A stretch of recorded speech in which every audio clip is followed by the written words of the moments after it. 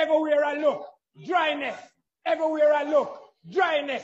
Dry in that temple, dry in that temple, dry in that temple, dry overseas, dry in the Caribbean, dry.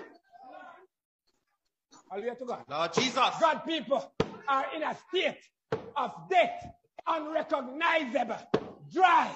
But the scripture is talking here. And he said unto me, And he said unto me, Son of man, Son of man, can these bones live? glory!